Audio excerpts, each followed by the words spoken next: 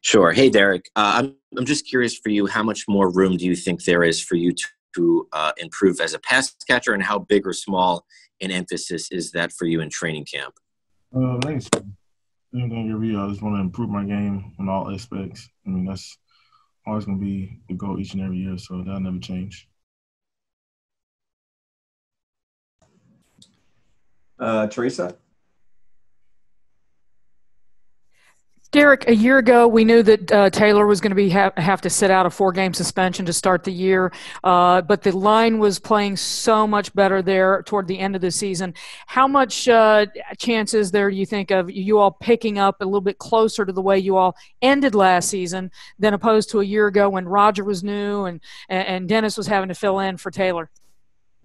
I think we're all just excited to be back together, be back to work, and um, you know, getting things rolling um, and you know just taking it uh, a day at a time until we're able to get out there and put pads on and compete against each other, and um, you know just keep building momentum forward as we get better each and every day by competing with, uh, to, uh, with, with one another uh, throughout this camp.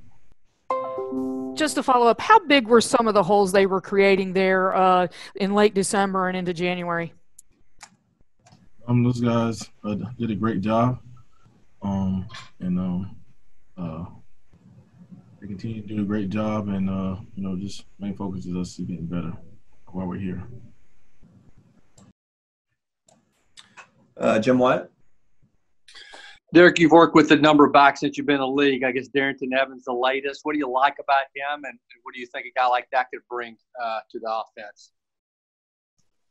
Um, you know, he's uh, uh, obviously he's a rookie. Um, you know, he's tell that he's smart, um, very attention to detail. Um, you know, when he's in meetings and you know carrying over to you know walkthroughs and things like that, and you know, each every day, each and every day, you know, you just want to grow as a player, and you know, I'm I'm here to help him. I'm excited for his opportunities. They can't hear you. Hey, Derrick, could you scoot up just a hair? I'm having a hard time hearing you. Um, Yep. uh, Buck, next question for Buck. Hey, Derrick, appreciate you doing this. Where specifically do you think Ryan Tannehill makes you better as a player? Say it again. Where specifically do you think Ryan Tannehill makes you better as a player? I don't really. I mean, I haven't really thought about that I haven't really looked at that. We just, you know, try to play good collectively, and you know, do what we are coach, and you know, go out there and play at the highest level that we can, and you know, and just you know, feed off one another. Not really, you know, looking at that aspect, you know, as far as with, with my game, but just you know, us helping each other collectively and going out there being explosive and making plays as an offense as a whole. Uh, Tehran. So, Derrick, as far as uh, running the ball and, and, having pretty much the same group of offensive linemen back, how important is that for you as a runner, and how can you take advantage of that continuity? Can you say that one more time? I said having the same group, well, uh, pretty much the same group of offensive linemen back, you know, that continuity. How important is that for you as a runner, and how can you guys take advantage of that? Um, I mean, think we all know each other very well. That we all know what type of player we all are, and like I said, you know, it's us just working collectively, being tied in all together, and what we're doing, and just going out there, you know, playing at the highest level that we can play. You know, we we all know it starts, you know, right now, with us, you know, competing and getting better. And I think that's just been the main focus. But I think we all know what we all bring to the table. Uh, Paul Kuharsky. Hey, Derrick. Um, I was wondering, uh, we saw videos during the off season, obviously, of your workout stuff, which is something to behold. Uh, do you think it, running backs around the league are doing stuff like you're doing, or are you striving to find stuff that that's uh, way beyond and different than than everybody else? Oh yeah, I couldn't really speak on you know any other running backs, but I'm just doing what I do, and you know me training, um, staying in shape, get my body stronger, you know, just getting prepared to get ready for camp. So that's what I always do every off season. How often are you are, are your guys coming up with new and different stuff for you that maybe keeps it interesting or or finds different ways to get to to different body parts?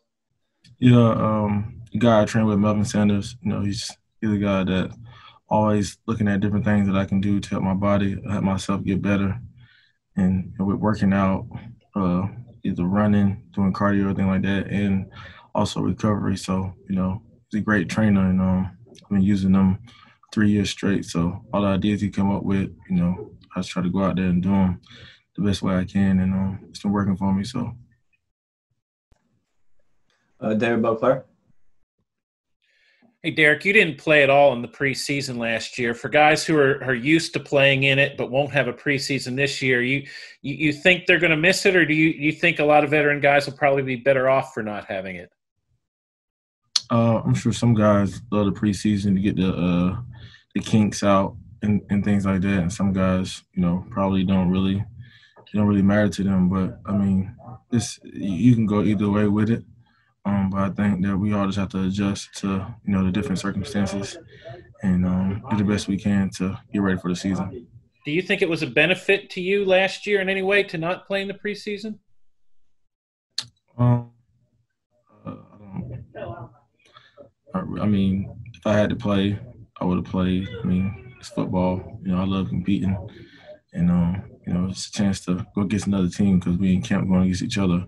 You know, for weeks straight. So it's always fun to go against another jersey. Uh, Terry McCormick. Derrick, you got a rushing title and a contract extension. In your mind, what's the next step for you in your career? Get better every day. Continue to get better. Continue to try to elevate my game each time I step on the field in meetings. Um, and that's all. That always be my focus. Uh, John Glennon.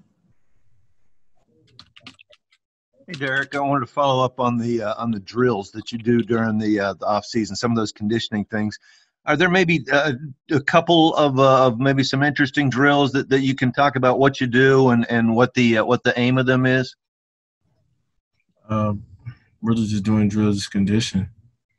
Um, open up my lungs, make sure I'm in shape, and that's really you know really focal point is making my make sure my body in shape. Um, I love working out. Um, just love working in general. So that's just me, just, just being me. Sure. I, I guess uh, I remember seeing one in particular where you were you were going up a uh, a, a hill. Um, maybe can you just sort of uh, uh, go through that a little bit, you know, and, and some of the things that were involved in, in that specific drill? Uh, yeah. Um, I've been uh trying to look to do some hill works, trying to find a, a good hill, steep hill, and um, you know, finding one when I was in tra- training in Dallas, and you know, I just wanted to, you know, get some get some hill work, and you know, really see how far conditioned I was, and you know, um, it was really some good work. You know, got to work with uh, the guys I was training with. Um, got some guys to uh, video some of the workouts for me and um, you know, and I liked it, so you know, I kept trying to do it as much as I could when I had the time. Uh, Kayla. Hey, Derrick. Uh, we saw the picture today. Did you get Taylor Lewan some new shoes, perhaps? Uh, well, I uh, I had them since I think uh last year, and um, I don't know why I just kept forgetting them because I guess they weren't in my uh. I had them in, like under the closet in uh, one of my drawers, and never really got them to him. I was supposed to give them to him last year, and I finally was able to give it to him this year. So that was that was way overdue. I'm finally he. I'm glad he finally got them. He likes them. How much do you enjoy? You seem like the kind of guy who likes to to give some gifts sometimes, especially to your O line. I mean, you guys have built such a bond. How has that developed over the past few years, especially with Taylor? Yeah, I'm always appreciative of my teammates, um, guys that work hard, guys that come to work every day and do what they need to do. And um, you know, it's always good to have a great relationship with your teammates, especially O line, especially guys that block for you. You know, and I'm, I'm grateful for all those guys. All right, we got time for uh, two more. Uh, Jim. Derrick, what could you describe maybe what the process was like on getting on the same page with Khari Blasingame last year in the middle of the season? How'd you think that went, and how, do you think he helps in uh, maybe the offense's ability to go? Well, maybe I think uh, Khari did a great job. You know, coming in um, the way he did and is picking up the offense very quickly, and um, he helped us tremendously.